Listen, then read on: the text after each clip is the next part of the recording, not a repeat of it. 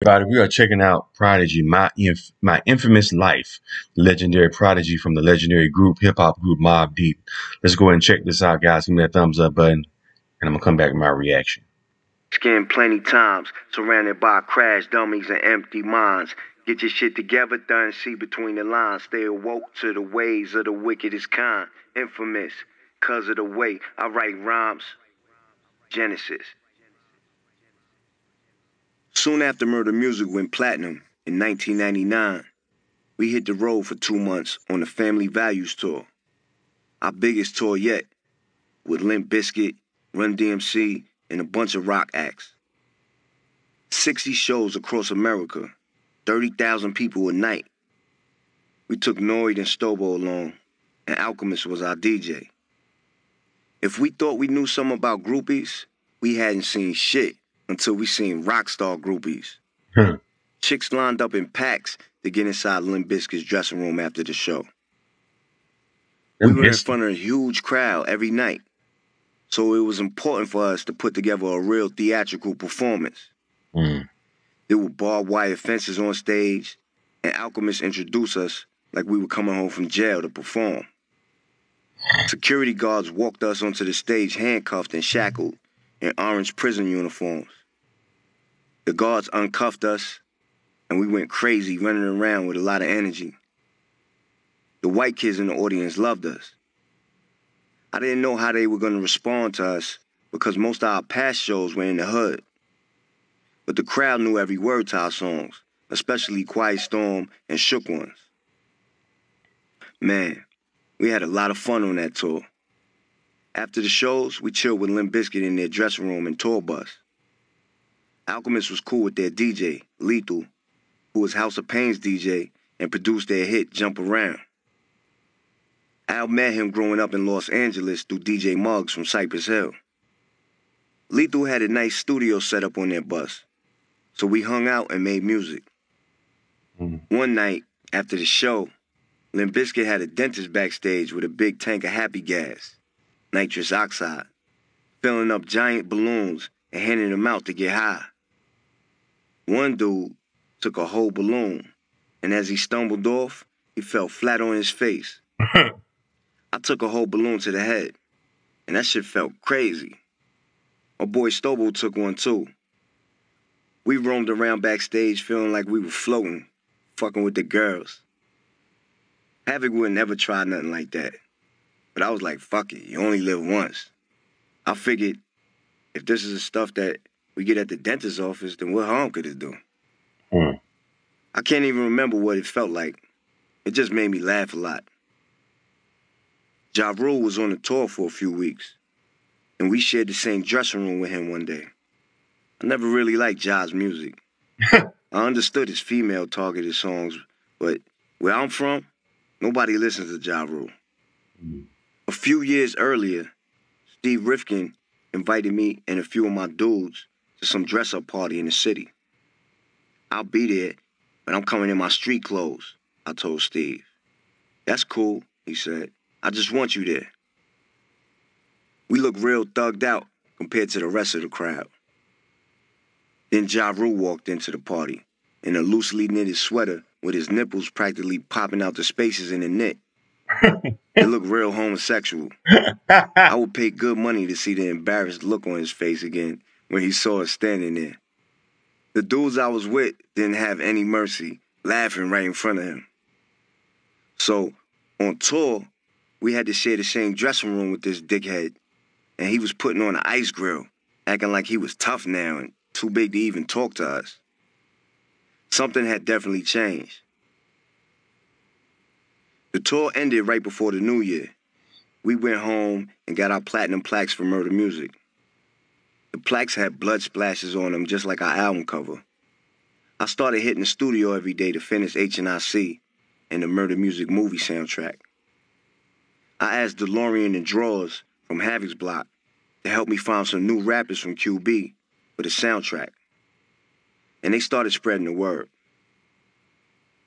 I showed a lot of niggas love on that soundtrack and gave a lot of dudes their first check ever, paying people $2,500 for a song or a beat. Nas was working on an album called QB's Finest at that same time. I found out that his QB album stood for Queensboro. He was getting all the Queens rappers together like LL Cool J, Kool G Rap, Run DMC, The Lost Boys. But when Nas heard about what I was doing with the new rappers from the bridge, he changed his Queensboro into Queensbridge because he didn't want me to be the first to get all the new artists from QB together.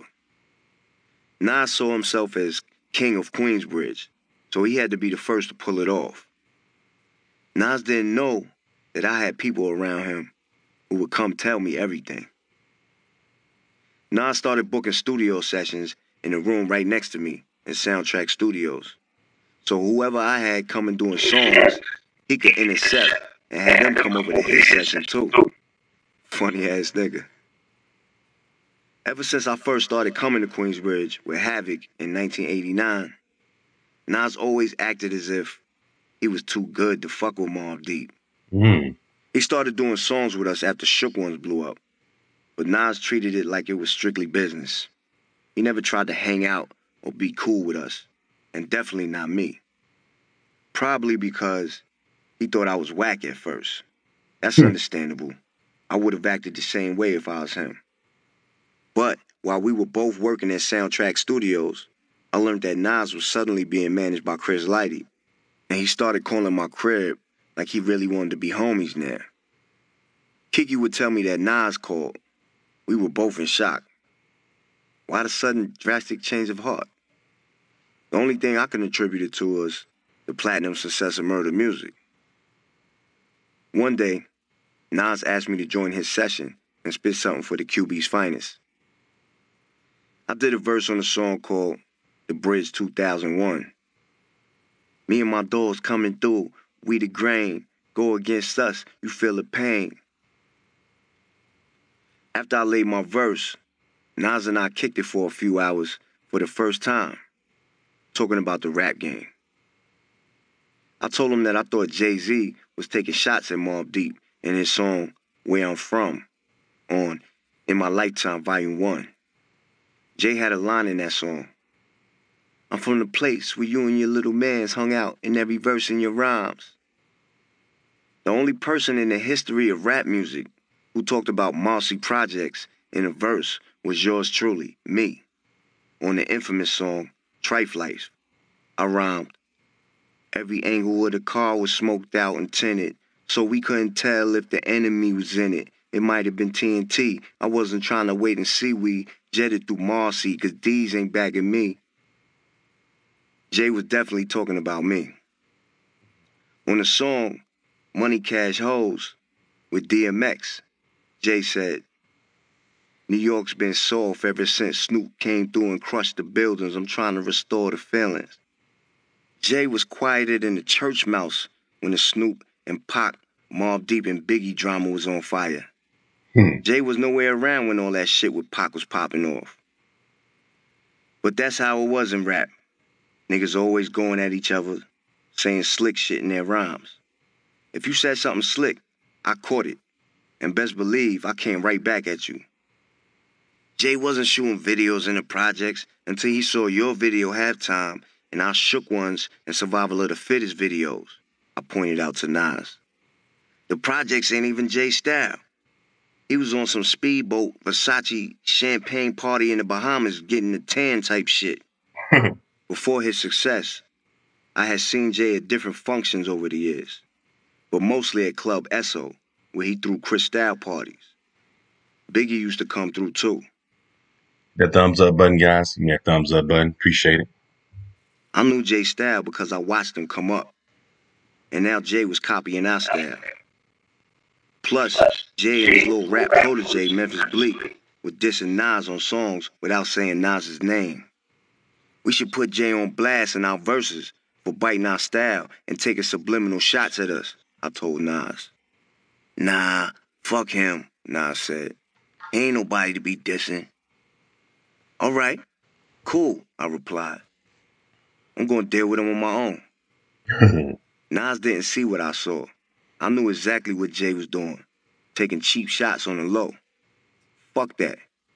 Jay wanted to take indirect shots. It was my turn to shoot directly at him. Jay Z had animosity towards Nas because he wanted Nas to be in his In My Lifetime video. Nas refused. Jay even got Nas's phone number from E Money Bags and called Nas personally, but Nas still wouldn't do it. Things were about to boil over. The next day, I started working at Soundtrack early, aiming to complete four songs per day. Clean and sober again after the Limp Bizkit tour, I didn't allow anyone to smoke in Studio A while I was working. What y'all think about this, man? This is uh, a snippet of the autobiography of Mobb Deep's Prodigy, My Infamous Life. I didn't know that him and Ja, I didn't know Ja Rule and Prodigy was beefing like that. I didn't know that they they, they wasn't feeling Ja Rule. But you know though, you know what I'm saying, to be devil's advocate though, I wasn't a big fan of Ja Rule. Ja Rule music was like street thug music for for chicks. When when Ja Rule was hot, his stuff mostly was for girls. You know, now, now that I think back it, I think I was like in my late teens. Maybe I might have been in my early twenties when J- when Ja Rule first blew up. It was mostly girls. They would play his stuff all the time on the radio, though. They would Ja Rule, Ja Rule. They would play Ja Rule stuff all the time on the radio. But I think that his stuff just, I think it just resonated with girls. Like I, I, can't remember any dudes really bumping Ja Rule like that. He had one song I think that really was. Um, what's that one song he had? Holla, holla, murder. That was the only song I think that dudes really would bump because it was kind of like a, a thuggish kind of raw. And I think he made that song because I think he knew he was he was leaning too much to the females. Like he was really like the new wave LL. You know what I'm saying? LL music was mostly for like females. You know what I'm saying? He was like street hip hop for like females. That's the way I kind of seen Ja Rule. Like I said, he had that one song called Holla Holla that was kind of like street. You know what I'm saying? That was kind of like that went hard. But the rest of his stuff was mostly like he did a song with I think that really pushed him over like the pop cult, you know what I'm saying, like the pop edge when he did that song with uh, with uh, Jennifer Lopez. I forgot. I, uh, I, am real the way you talk, the way that song I think really kind of put him over to okay, yeah, this dude's straight for pop. He's you know he's pop, and plus he's for females. And then when 50 Cent came around, 50 Cent pretty much just took him out the game, I think. What y'all think? Leave your comments and subscribe to Charles Arnes. Hit that thumbs up button. Appreciate it.